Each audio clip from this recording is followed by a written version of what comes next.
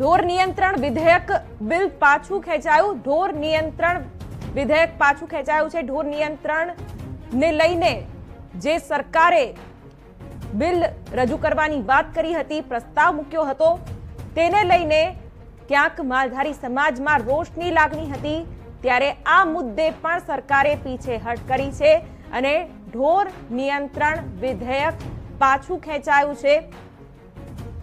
ચૂંટણી પહેલાનું આ અંતિમ સત્ર અને સ્વાભાવિક છે, આ મુદ્દે સરકાર ઘેરાઈ હતી. માલધારીઓએ ઉગ્ર પ્રદર્શન કર્યું હતું, માલધારી સમાજે શક્તિ પ્રદર્શન કર્યું હતું. ત્યારે આ અંગે મોટો નિર્ણય સરકારે કર્યો છે અને આ વિધેયક પાછું ખેંચવામાં આવ્યું છે. રાજ્ય કક્ષાના શહેરી વિકાસ પ્રધાન વિનોદ મોરડિયાએ આ પ્રસ્તાવ રાખ્યો અને આ બિલ પાસ કરવાની આખી વાત હતી.